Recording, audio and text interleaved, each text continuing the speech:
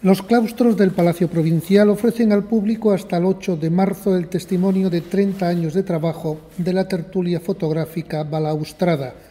Organizada por la Fundación Provincial de Cultura de la Diputación, ofrece imágenes de una ciudad, Cádiz, de manera natural y trabajos de autor en diferentes formatos y técnicas.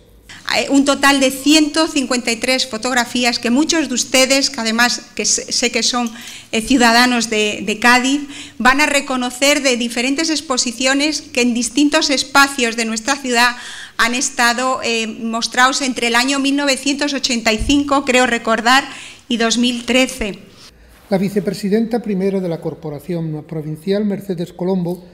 acompañó a Pilar Pintor en la inauguración junto con cuatro miembros de la tertulia, Juan Luis Parrilla, que ha ejercido de comisario de esta exposición titulada 30 años de la tertulia fotográfica balaustrada, José Manuel Aranda, Teo González y José Luis Otero.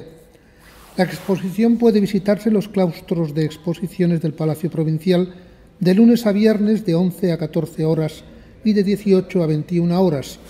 sábados, domingos y festivos de 12 a 14 horas.